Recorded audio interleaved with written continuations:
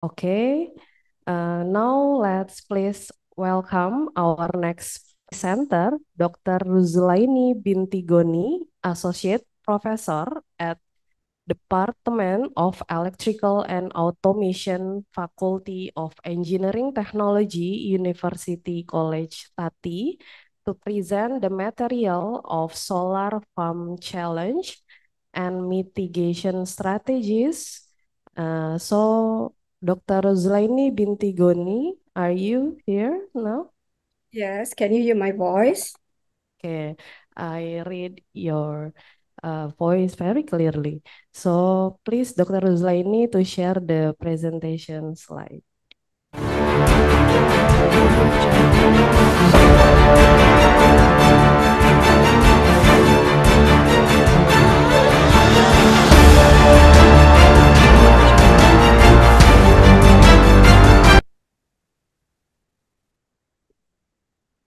Okay, um, all right.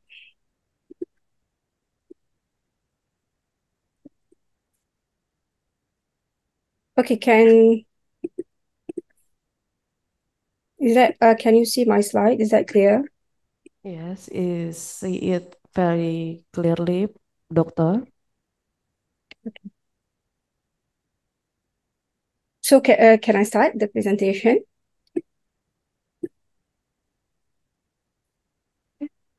Uh, the time is yours, doctor.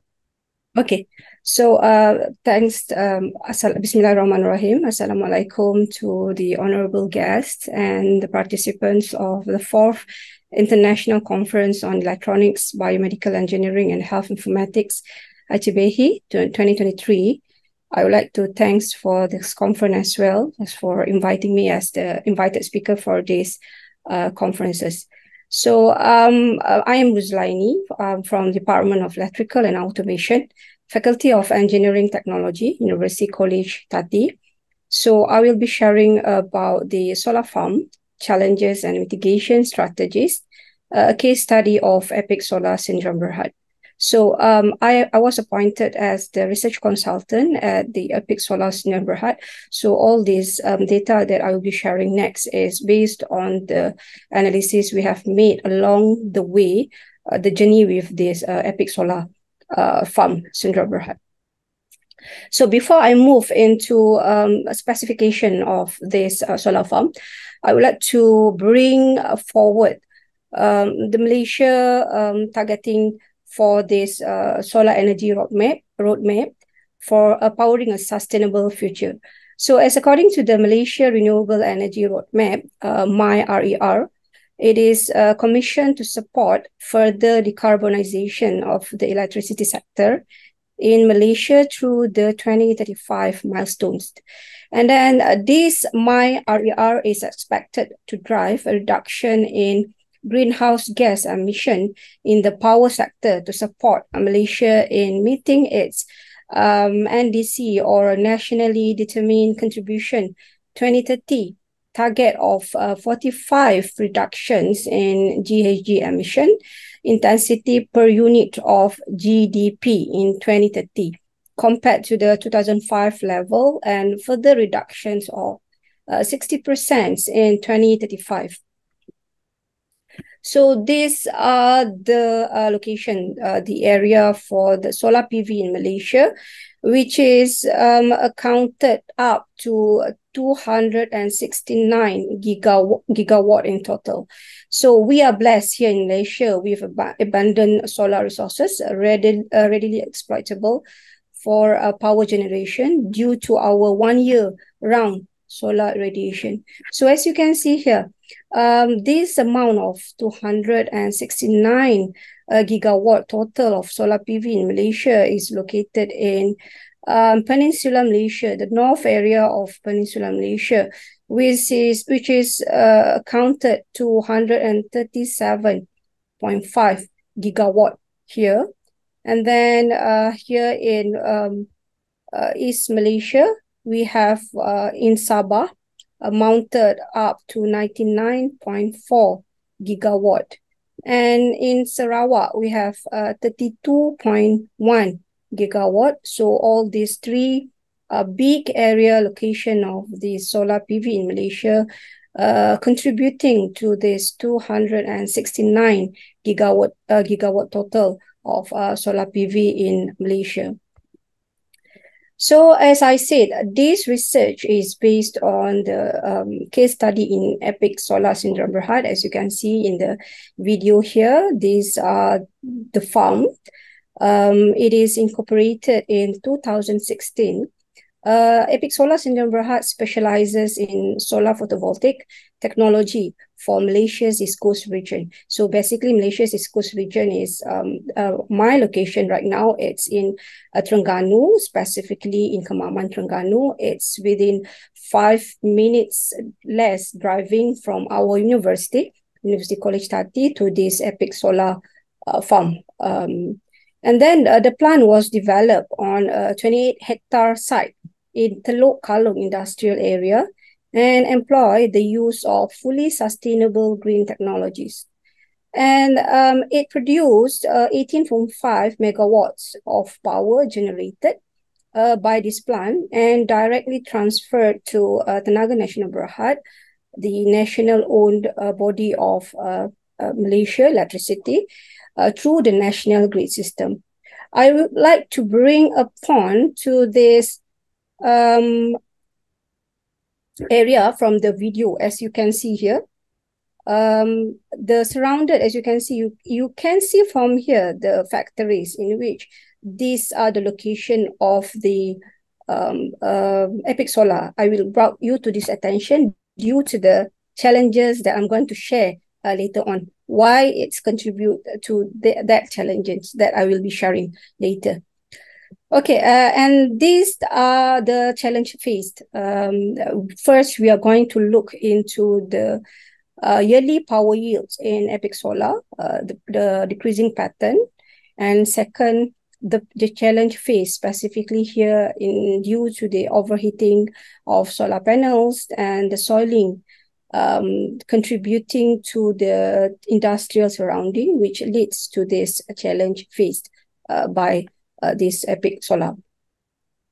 Again, um, to bring all of you uh, to the location of the epic solar, uh, this picture is taken from the Google map. As you can see here, this is epic solar, Sendirian Berhad, and it is surrounded by the Teluk Kalong industrial area, in which the nature of this um, area is uh, oil and gas. And we have here the Eastern Steel, uh, which obviously um, the, com- the company, uh, the industrial area related to steel.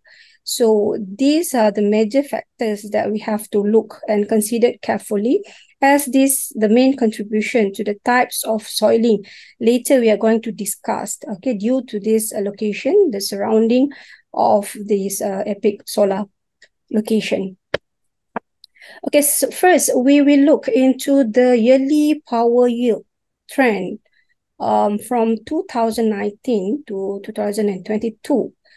Um, as we can see here, um, this power is uh, measured in uh, the, the total amount in megawatt hour.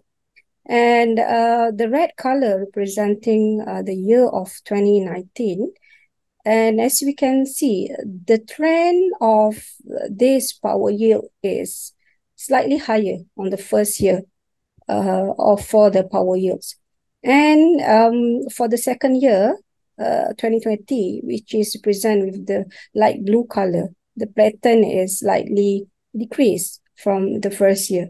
So, um, and we move to the third year, which is uh, represented by the gray color.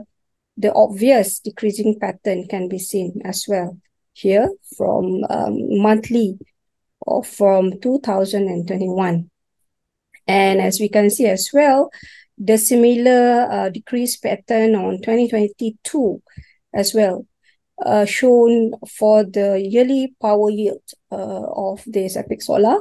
And as we can see here, the representation of the average point, um, as we can see, it is obviously the first year of 2019 showing um, the higher um, result, the higher output power yield. And um, it slightly decreased starting from September to December 2019. Um, this is expected due to um, from normally starting from September to December, it is monsoon season here in East Coast of Malaysia, in Terengganu especially, around uh, end of September and continuously until December. And sometimes it may lead, uh, bring up to the next year, January and February. So it is expected to have a decreased pattern of uh, power yield at, at the end of the year, every year. And then for the uh, 2022, the pattern shown is quite similar with the 2019, except for the uh, slightly pattern of uh, power producing from the previous year. And as we've seen from the 2021 and 2022, the pattern is similar. Both of the year, the pattern is similar with uh, significant numbers of uh, decreasing pattern shown uh, for these two years. So um, uh, we will we will look into this uh, consistently uh, decreasing pattern uh, from the first year of this data recorded until uh, uh, 2022. So this one is the uh, um, yearly power yield versus the irradiance uh, for the four years as well. So um, just to show that, um, yes, um, theoretically, uh, practically as well, the irradiance will impact uh, the amount of the power uh, produced by a solar farm, solar panel to be specific. And as we can see here, the summarization of the year from 2019, um, the primary axis uh, representing the output power in megawatt hour, and the secondary axis representing the irradiance in watt uh, per meter squared. So um, the pattern of this uh, yearly output power in radian is uh, proportional uh, both sides and we can see um, the decreased pattern proven by decreased pattern of the power yield as well. So these are the uh, projection of uh, for the uh, four years of um, estimated output power versus the targeted output power. Um, so uh, the first one is the uh, this number is compared based on the real uh, output power yield for these uh, four years versus the targeted powers in which um, Epic Solar targeted of uh, 2.78 megawatt hour for uh, the production. So if you can, as you can see here from 2019, uh, we can see um, a few months of the power output yield achieved above this targeted output power. And uh, the rest of it is uh, non-achievable and under this uh, targeted output power.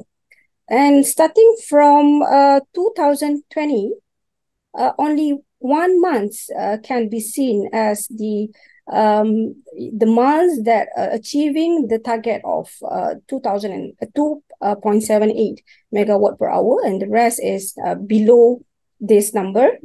Same goes to uh, 2021 and 2022 as you can see here. Uh, in fact, it just not only does not meet the targeted power of 2.78 megawatt, but in fact, it's far uh, below decreasing from the targeting power. So um, as I said before, this um, decreasing number is consistently showing a decreasing pattern from 2019 up to the 2022. Um, so next, here is the solar panel degradation rate. So um, solar panel degradation rate is basically the comparison of the output power, uh, rated power, compared to the previous year. Um, so as we can see here, uh, it is um, uh, uh, amounted in megawatt hour. So on the first year, the total amount is 31.7 megawatt hour. And uh, for 2020, um, this amount reduced to 29.92 uh, megawatt hour, uh, in which it shows the pattern of 5.6% degradation rate from the previous year. And move on to the next year of 2021, uh, the, uh, the third year, we also seen a decreasing pattern with the amount of 27.67 um, megawatt output power, which um, showing a much more decreasing number pattern of 7.5% as compared to uh, 2020 this year. And similar goes to 2022 with the amount of uh, 26.34 um, megawatt hour, which is uh, which recorded uh, the decrease, uh, the degradation rate of 4.8% compared to um, 2021. So um, for your information, uh, the typical degradation rate for most solar power panel is between 0.5% and 1% per year. However, these are based on the um, experiment on the test done under the standard test testing condition. This factor obviously will be um, um, influenced by the surrounding factors of the solar panel location as well. So that is why we see different, uh, uh, huge different patterns uh, gain uh, from this um, epic solar um, farm. Okay, now we are going to look into details of the challenges faced by these um, um, solar panels, solar PV. So basically, these the, the challenges I will be sharing is um, normal, is general, it's the common problem shared with all the uh, solar panel uh, farm out there, not only in Malaysia. But uh, what uh, I, would, I would like to share and bring into your attention is um, the surrounding of this epic solar, which contributes to a quite ch challenging factors for us to really look into in order to improvise the output power yield for this uh, solar. So um, uh, what is uh, the first um, challenges is overheating challenge. So basically what is overheating challenge? Um, the solar panel uh, efficiency is affected negatively by temperature increases. We are now talking about the temperature on the solar PV. So um, the higher the ambient temperature will contribute to the higher to um, the solar PV temperature. So this um, overheating uh, due to the high temperature of uh, on the solar panel PV will obviously influenced and contributed to the amount of power um, generated from the solar farm. So why why it is happened? Uh, the photovoltaic or, uh, or the PV modules are tested at a temperature of 25 degree under the standard testing condition. And again, as I mentioned, depending on their installed location, the heat uh, can reduce the output efficiency by 10 to 25%.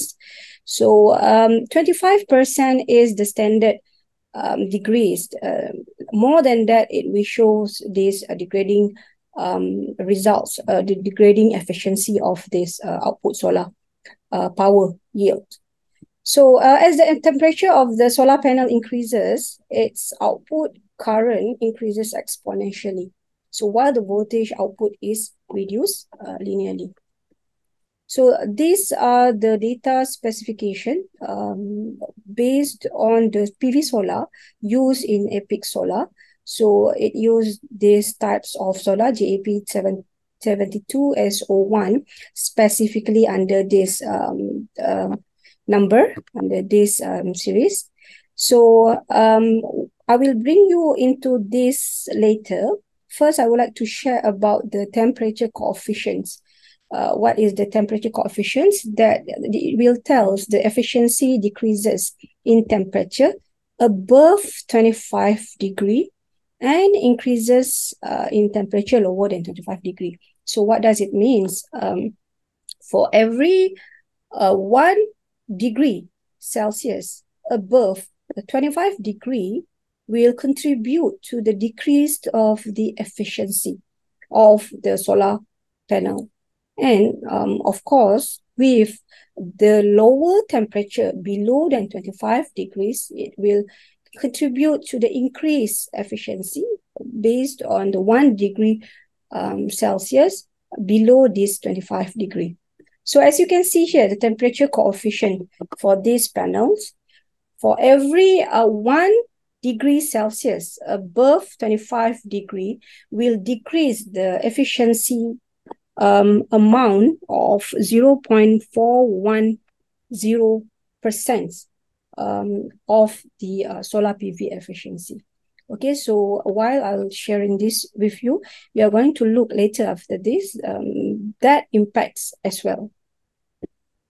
Okay, so these are the um, um, sensor, uh, the temperature recorded at the um, solar PV uh, at Epic Solar Farm um, monthly basis starting from 2019 until 2022. So um, this uh, amount is based on the temperature um, recorded in Celsius for the solar uh, PV. All right. So uh, as you can see here from 2019, um, uh, overall, as overall uh, temperature, we look more, uh, we rarely see the temperature that is the 25 degree and below. So all the years from January to uh, December for 2019 recorded the temperature of more than 25 uh, degrees Celsius with the highest temperature average recorded on June uh, 47 um, degrees Celsius. Same goes to 2020. So um, the, the temperature pattern is almost similar as shown with on the 2019 um, 29 and there is no um, PV solar temperature recorded on 25 degree or below than that. And then same goes to 2021. Um, it shows slightly um, decreased of the temperature recorded, um, but still it's still up to more than 25 degree with the only average recorded on 25 degree is uh, in December, right? So it is expected due to, as I said, normally most of the time, December is the heavily rain um, month of the year here in Kemaman, Terengganu. And in 2022, so it's showing um, most of the temperature recorded on the PV solar a few months showing the average recorded below 20, 25, uh, 20 degree, 23 degree on March as well, uh, on May 25 degrees, and August 23 degrees, October 25, and December 23 degree. So uh, these are the um, temperature recorded on the PV solar on um, Epic Solar. So um, what are the mitigation strategy for this overheating mitigation? Um, generally, normally, normal practice is using the cooling systems uh, by implementation of cooling system to regulate the panel temperature, to lower down um, the panel temperature. And second is the panel orientation, in which uh, the adjustment of the panel orientation to optimize the performance. Um, since this is still an ongoing research uh, with um, Epic Solar, we haven't um, practiced of or introduced any of these two um, in Epic Solar Farm, but we are looking forward from the data um, studied, from the data gained, we are going to look into the most effective um, overheating mitigation with the optimal cost involved. Uh, since this will um, involve of the area, a huge area of 28 um, hectare of uh, the solar farm. So we are going to run a, a, a few testing to find the most efficient method to for these uh, overheating uh, mitigation strategies. Uh, so the second challenge faced is the soiling challenge. So uh, what is the soiling? Soiling is basically the uh, dust accumulation on the solar panel. So this accumulation will um, hardly impact the power output power yields uh, by the solar farm. So there are various types of soiling like um, dust, various kind of industry pollution, sulfuric acid particulates, birds droppings, uh, falling leaf, agricultural feed dust, and the growth of algae, moss, fungi, lichen, or biofilms of bacteria. This um, dust listed here is the most common um, dust um, accumulated on the PV solar. But I will, I want to bring your attention to uh, different types of soiling will be based on the location of the solar farm, will be based on the geogra- geographical area, will be based on the type of industrial it is uh, surround its surrounding. So um, these are the difference that we found later. Uh, the types of dust exist on this epic solar uh, uh, farm. So uh, what are the impacts on the soiling uh, on solar panels? So the accumulated materials will block or scatter the incident lights, which leads to a loss in power output. So these are also the major factors contributing to the um, decreasing factors of uh, output power yield for this solar farm. All right. So um, we have um, come out with this uh, solar uh, soiling analyzer. Uh, uh, basically, our focus is uh, the first one is to detect the type of soiling exists on the solar farm um, area in Epic Solar. The second is basically to measure the dust, the the, um, the level of dust uh, on this um, um, soiling accumulation on the solar PV.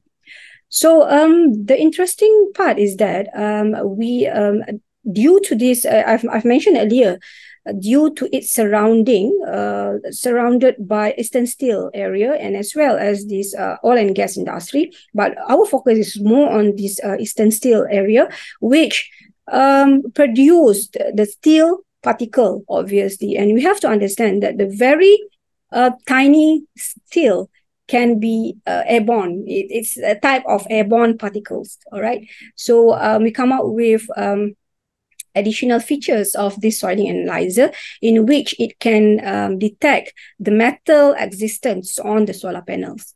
And um, we have detected most of this area of the solar panels was soiled with metal particles. Okay, it's very hard to find um, any of the panels that is not um, accumulated by these metal particles. But um, not surprisingly, uh, not surprisingly, the solar panel, which is near close to the eastern steel, uh, since we have a very um, broad area of the solar farm, but the area that is close to the eastern steel um, recorded the the whole uh, um, surface of the solar PV is um, accumulated is covered with these metal particles and it's hardly to find the the metal the, the surface area that is clean from these um, uh, particles. So um, why I'm stressing on this matter is that um, the way of the cleaning method for this solar panel is there are various method of cleaning, but here in uh, Epic Solar, they use this um, solar cleaning with water, water-based uh, cleaning. So, um, which which um, uh, the the component involved besides the water is the brush to brush up the the panels. But we have to bear in mind uh, the type of brush shouldn't um, um, scratch the, the, the surface materials of the solar panels, in which this scratching will obviously impact on the power production of this uh, solar PV. So um, these are the things that uh, we have to look seriously into since the water cleaning uh, couldn't remove these uh, metal particles. Okay, so this is what we've uh, discovered this year, uh, I think middle of this year. Um, so um, we are going to look into as well how, what are the optimum strategy to overcome these metal particle issues on um, uh, on PV solar, specifically on EPIC solar um, farm. So um, what are the um, normal practice of this soiling mitigation? Uh, the first one is based on cleaning. Um, obviously, cleaning, the frequent cleaning will lead into a good um, result. Uh, and the second method is coating. As of now, we haven't applied the coating techniques on the the um, so solar PV. We are only focusing on the cleaning schedule, in which in the later section, I will share on um, the experiment we run based on for this cleaning technique using the water-based cleaning technique. Okay, so um, this experiment, as as I mentioned, as of now, um, Epic Solar practice the cleaning based on water cleaning method. So uh, we run, um, the first experiment is um, um, they bought this special cleaning agent for solar PV. So this experiment is about comparing the output power generated with different types of cleaning technique. So the group consists of, the first group is using the cleaning agent, RMC, the, the brand, uh, the, the name or the brand of the cleaning agent. And second is weekly clean, cleaning. And the third group is the control cleaning or the, the, the control cleaning, which is the solar PV that is not being watched uh, to see the impacts of uh, whether it's good to use the cleaning agent or no. So these are the image of the solar PV uh, taken for the cleaning agent, use the cleaning, the use of the cleaning agent and the weekly wash. Bear in mind the weekly wash is the cleaning method that is that has not been using any um, cleaning agent. It just required frequent cleaning and the third one is the control group of solar pv in which it is not washed uh, you can clearly see the dust covering on top of the surface and its color is slightly uh, white color dusty color like that due to this uh, not cleaning um, um, uh, not cleaning of the surface. So these are the output power generated for different cleaning methods.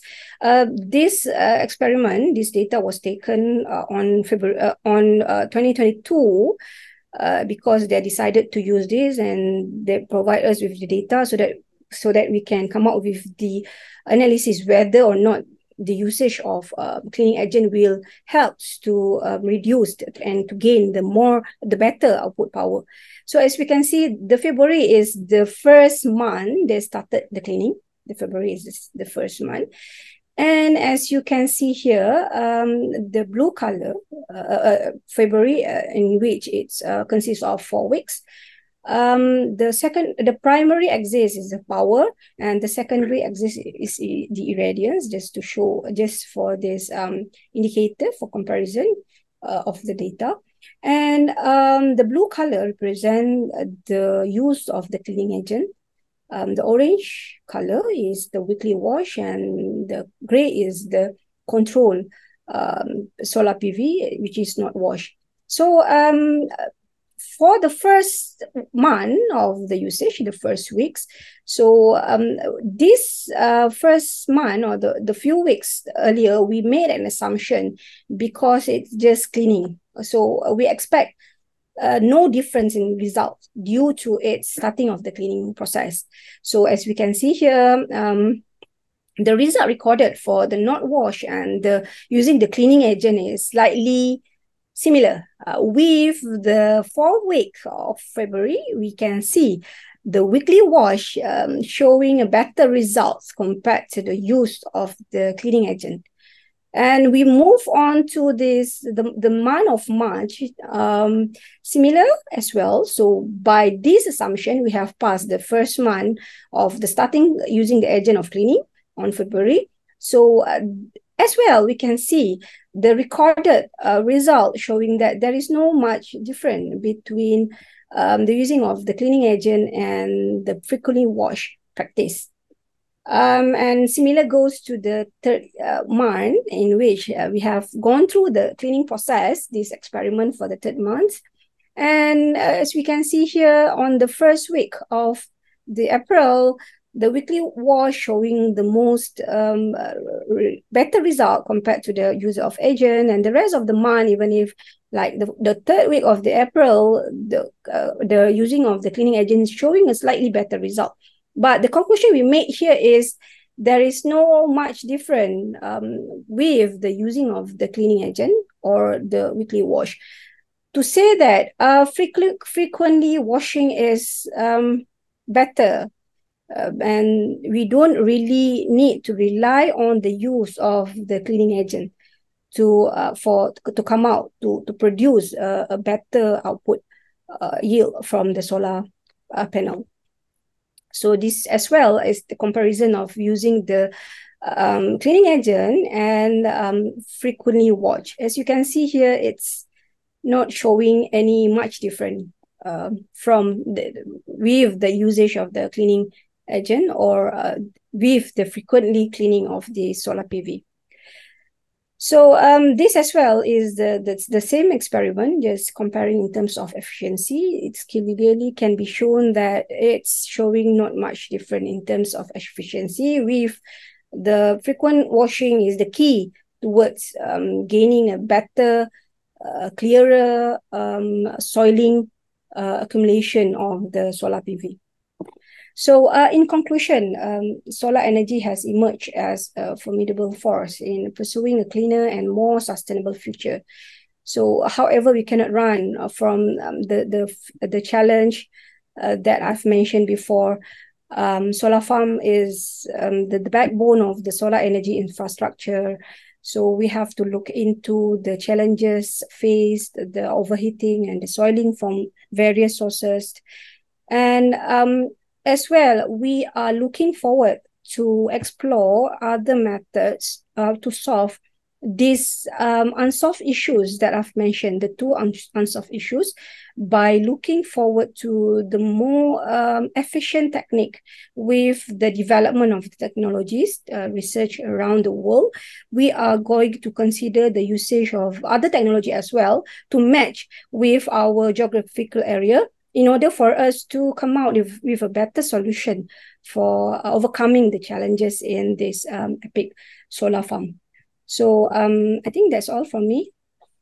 Thank you. Okay, thank you very much, Dr. Ruzlaini Binti Ghoni, for your great presentation. Uh, so, ladies and gentlemen, now we've come to the question and answer session. We glad receive your question. Going to select three first question. So this is uh, the first question come from Mrs. Sari Lutfia from a chat room. The question is, uh, solar farm has challenges and mitigation. Challenge the production and disposal of solar panels can be resource intensive and may pose environmental challenge including pollution and waste. Uh, what's the impact to environmental, Dr. Ruzlaini? Okay, due to the uh, the material that is used uh, for the the development, the building of the solar panel, it does has an impact. So there are many ways uh, used in um, disposing this uh, PV solar uh, in order not to to um, impact the environment and uh, the, some of the ways they're using these uh, recycling techniques of this solar PV. Uh, but I cannot answer your, your question details as I'm not focusing into this, this disposal of the solar PV. So I just can uh, answer in, in that sense of the way of disposal of this item uh, has been studied in way not to uh, impact the environmental and one of the way is the recycling of the solar PV. I hope I am answering question. Thank you very much, uh, Dr. Zulaini, for answering the question. Is it uh, good for Ms. Sari for uh, answer the question? Uh, and the second one, maybe all the participant can open up your microphone to talk uh, directly with uh, Dr. Ruzlaini or write on a chat room. Okay, thank you for your detailed answer, Dr. Ruzalaini from Mrs. Sari Lutvia. Okay, uh, maybe I have one question, Dr. Ruzalaini. Uh, uh, now I live in Surabaya. Did you ever come to Indonesia, especially in Surabaya? Um, I've went to Indonesia, Bandung, not Surabaya as of oh, now.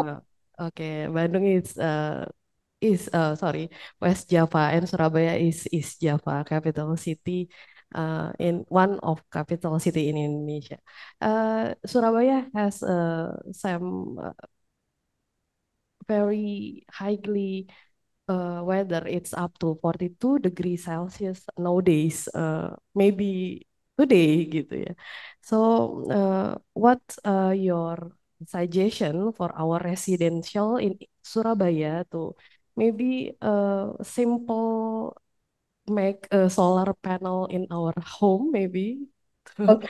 yeah. So, uh, in, Malaysia, we have this initiative um, in which it is um, led by Tenaga Nasional Berhad, I mentioned previously, the body they own by government in terms of the electricity production, in which they have this incentive provided for every home uh, installing these solar panels and the the power yields will directly um, uh, transfer to the uh, TNB and then we are going to have this um, um, uh, cost decreasing in in the the payment of the the fees of this electricity usage. So I think um, if as of now um, in Surabaya there is no rules stating directly for the use of solar panel, I think why not we can uh, come out with um, individual solar panel installing with i think it's not involved a major um, major installation since it can be a few uh, things or a few components that can be used to directly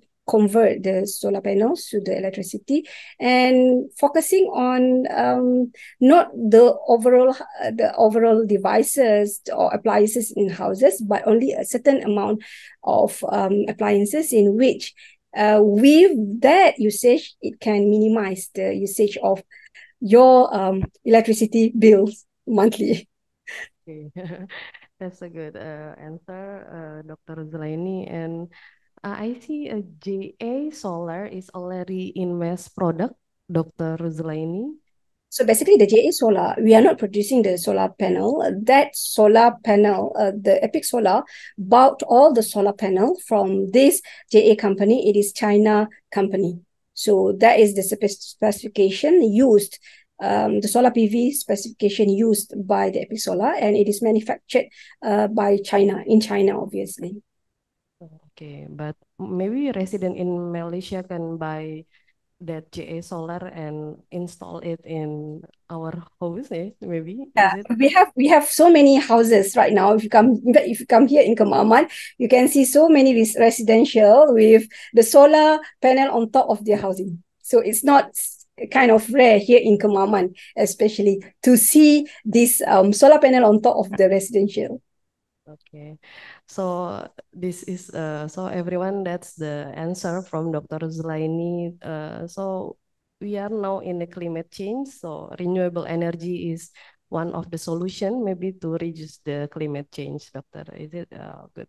Okay. Uh, maybe any other question? So uh, we run out of time. Okay, thank you very much, uh, Dr. Zulaini Binti Ghoni for answering several questions. Uh, so uh, this is uh, kindly present and a certificate as uh, invited speaker. Thank you for your time and contribution.